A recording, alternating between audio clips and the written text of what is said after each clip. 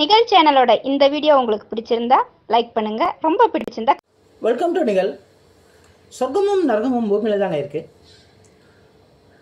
அதாவது நோயால் பீடிக்கப்பட்டவங்க நரகத்துலேயும் நோய் இல்லாத வாழ்க்கை வாழ்கிறவங்க சொர்க்கத்திலே இருக்காங்க. இதுதான் உண்மை. நீங்கள் யோசிச்சு பாருங்கள் உங்களுக்கு புரியும். இன்றைக்கி பலவிதமான நோய்கள் நம்ம வந்து தாக்கிட்டு இருக்குது. இந்த நோய்கள் வந்து போட்டி போட்டு நம்மளை வந்து தாக்குது அப்படின்னு தான் நம்ம சொல்ல முடியும்.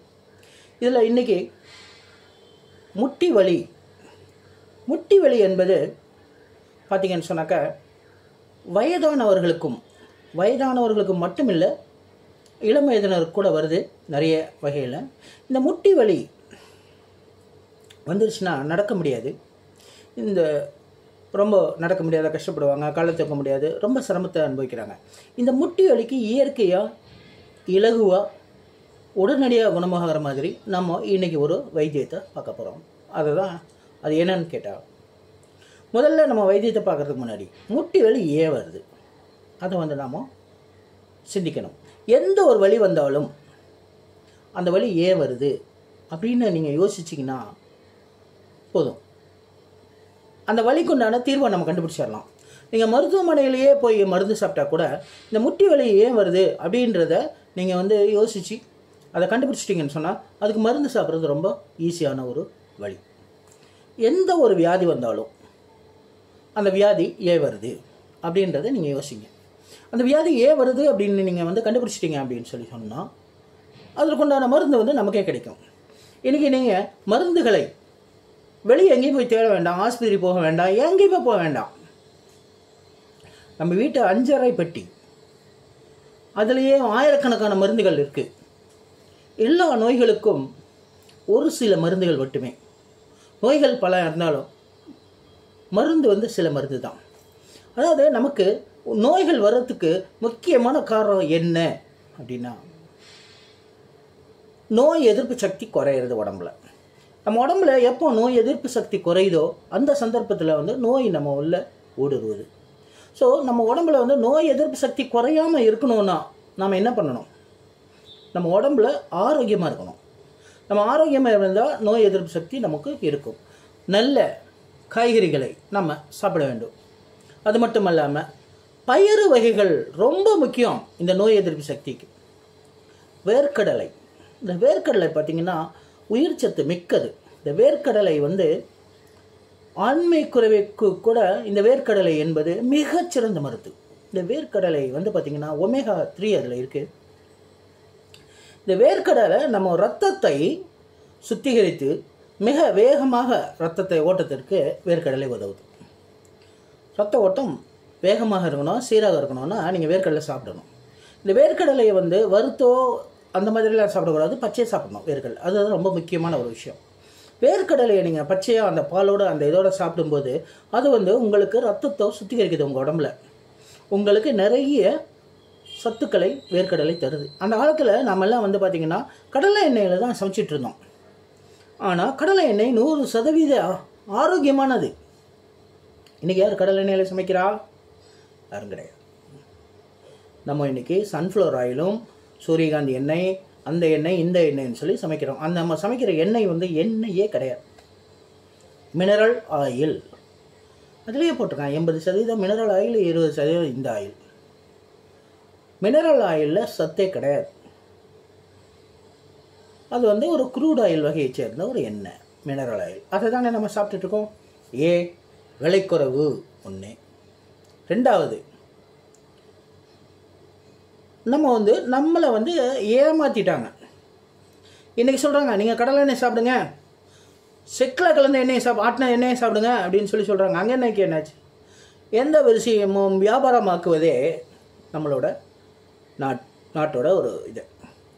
இன்றைக்கி எல்லாத்தையும் வியாபாரம் தான் பண்ணுறாங்க இதில் அஞ்சு ரூபா சம்பாதிக்க முடியுமா? அதில் அஞ்சு ரூபா சம்பாதிக்க முடியுமா? அதாவது இது ஒரு டெக்னிக் என்னன்னு கேட்டிங்கன்னா ஒரு சந்தர்ப்பத்தில் சொன்னாங்க ஒரு ஐஸ்கிரீமில் வந்து புழு இருக்குன்னு. ஐஸ்கிரீம் என்பது ஜீரோ டிகிரியில் இருக்கக்கூடிய ஒரு ஐஸ் கட்டி. ஐஸ் கட்டிக்குள்ளே எப்படி புழு இருக்கும்? அது ஸ்டோரேஜ் வந்து ஐஸ்க்கு ஃப்ரீசரில் தானே வச்சுருப்பாங்க. அதில் புழு வரத்துக்கு என்ன வாய்ப்பு? இது வந்து மார்க்கெட்டிங் ஒரு பொருளை குறைத்து காட்டி இன்னொரு பொருளை உயர்த்தி காட்டி வியாபாரம். இதுதான். அதனால் நீங்கள் அவங்க சொல்கிறாங்க இவங்க சொல்கிறாங்க அப்படின்லாம் கேட்காதீங்க. நம்ம அந்த காலத்தில் வந்து இதெல்லாம் எதை பயன்படுத்தணுமோ அதையே நம்ம மறுபடியும் பழைய காலத்துக்கு போனால் தான் நம்ம ஆரோக்கியத்தை நம்ம வந்து பேணி காக்க முடியும். கடலை எண்ணெயை நிறைய பயன்படுத்துங்க. சொல்லுவாங்க பெரியவங்க வைத்தியனுக்கு கொடுக்கறத விட வாணிபனுக்கு கொடுத்துரு என் நல்லெண்ணெய் தான் அப்படி சொன்னாங்க. நீங்கள் நிறைய நல்லெண்ணெயை பயன்படுத்துங்க. நீங்கள் நல்லெண்ணெய் வந்து உடல் ஆரோக்கியத்துக்கு அவ்வளோ சிறந்தது. நீங்கள் சாப்பாட்டில் சாப்பிடும்போது கூட அந்த காலத்துலலாம் பாருங்கள் சாப்பிடும்போது நல்லெண்ணெய் ஊற்றி கடைசியாக சாப்பிடுவாங்க. நல்லெண்ணெயில் சாப்பாடு. ரொம்ப சிறந்தது. கண்ணுக்கு நல்லெண்ணெய் ஊற்றிட்டு படுப்பாங்க. குழந்தை சின்ன குழந்தைக்கு கூட என்ன கண்ணுக்கு நல்லெண்ணெய் காதுக்கு நல்லெண்ணெய் அப்படி உடம்பு ஃபுல்லாக வாரத்தில் ஒரு மணி நல்லெண்ணெயில் தேய்ச்சி குளிக்கிறது ஆரோக்கியமான விஷயம் நல்லெண்ணெய். சரி இப்போ நம்ம வந்து இந்த முட்டி வலிக்கு என்ன மருந்து அப்படின்னு சொல்லி பார்க்கலாம். குங்குலியம் அப்படின்னு சொல்லி ஒரு கட் ஒரு இது இருக்குது கேள்விப்பட்டிருப்பீங்க. இந்த குங்குலியம்னா என்னன்னு கேட்டால் ஒரு மரத்தோட பிசின். பிசினில் வந்து நிறைய வகையான பிசின் இருக்குது. பிசின்லாம் வந்து பார்த்திங்கன்னா நமக்கு உடலுக்கு நிறைய ஆரோக்கியத்தை தரக்கூடிய பிசின் பாதாம் பிசின். அதை கொண்டு வந்து நீங்கள் வந்து ஊற வச்சு தண்ணி போட்டு நிறைய வரும். கொஞ்சம் இவ்வளோவா இருந்து தண்ணி போட்டு ஊற வச்சிங்கனாலும் நல்லா இவ்வளோ வளர்த்துக்கும் வரும். அந்த மாதிரி ஊற வச்சு நீங்கள் அதை வந்து சாப்பிட்டீங்க அப்படின்னு வச்சுக்கோங்களேன். உங்கள் உடம்பு குளிர்ச்சியாக இருக்கும். உடம்பு குளிர்ச்சியாக இருந்தாலே நமக்கு நோய் கிடையாதுங்க. உடம்பு வந்து நார்மலாக குளிர்ச்சியாக இருந்தாலே நோய் கிடையாது. உடம்பு சூடாகும் போது தான் மூல நோயிலேருந்து தலைவலி காய்ச்சல் அந்த நோய் இந்த நோயின்னு சொல்லி எல்லா நோயும் வருது. பேசிக் உடம்பு வந்து நல்லா நார்மலாக குளிர்ச்சியாக இருக்கும். அந்த மாதிரி. இந்த மாதிரி நிறைய வகையான பிசின் இருக்குது இது வந்து குங்கிலியனார் அப்படின்னு சொல்லிட்டு ஒருத்தர் கண்டுபிடிச்சதுனால அந்த குங்கிலியம் அப்படின்னு சொல்லிட்டு அவர் பேரையே இந்த இதுக்கு வச்சுட்டாங்க. இந்த குங்குளியம் பேஸ்ட்டு வந்து பார்த்தீங்க இது கல் வந்து பார்த்திங்கன்னா இது கல் மாதிரி இருக்கும் ஒரு இது. அதை வாங்கிட்டு வந்து நல்லா பொடி பண்ணிவிட்டு கடலெண்ணெய் அல்லது நல்லெண்ணெய் எது வேணாலும் எடுத்துக்கலாம். இந்த கடலெண்ணெயோ நல்லெண்ணெயோ கொஞ்சமாக அதை ஒரு நூறு எம்எல் கடலெண்ணெய்க்கு ஒரு இருபது அதை ஒன்று ஒன்றில் நாலு பாகம் இரநூறு எண்ணெய் கடலெண்ணெய் அப்படின்னா ஐம்பது குங்குலியம் அதில் இந்த குங்குளியமில் ஒரு மூணு வகையான குங்குலியம் இருக்குது அதில் பார்த்தீங்கன்னு சொன்னாக்கா வெள்ளை குங்குளியம் ஒன்று இருக்குது மஞ்சள் குங்குளியம் ஒன்று இருக்குது பூனைக்கண் குங்குளியம் அப்படின்னு சொல்லி ஒன்று இருக்குது இந்த பூனைக்கண் குங்குளியம் வாயினை வந்து பார்த்திங்கன்னா நல்லா பொடியாக்கிடுங்க பொடியாக்கிட்டு இந்த எண்ணெயில் போட்டு அதை நல்லா மிக்ஸ் பண்ணுங்கள் மிக்ஸ் பண்ணி நல்லா கொதிக்க விடுங்க. கொதிக்க விட்டு அது ரெண்டும் மிக்ஸ் ஆகிட்டு அதை ஒரே ஆயிலாக படத்தில் வரும். படத்தில் வந்தோடனே அதை ஆட் இறக்கி வச்சுடுங்க. இதை வந்து இந்த முட்டி வலி இருக்கிற இடங்களில் மேலே நீங்கள் தடவுங்க. தொடர்ந்து ஒரு மூணு நாள் நாலு நாள் நீங்கள் இதை வச்சு தடவிட்டு வரும்போது உங்களுக்கு அந்த முட்டி வலி காணாமலே போயிடும். முட்டி வலியை ஏன் வருகிறது அப்படின்னு சொல்லும்போது முதல்ல சத்து குறைவு. இரண்டாவது இந்த முட்டி ஜாயிண்ட் அப்படின்றது இந்த பந்து கிண்ணம் ஒரு ஒரு ஒரு கப்புக்குள்ள ஒரு பந்து போட்ட மாதிரி.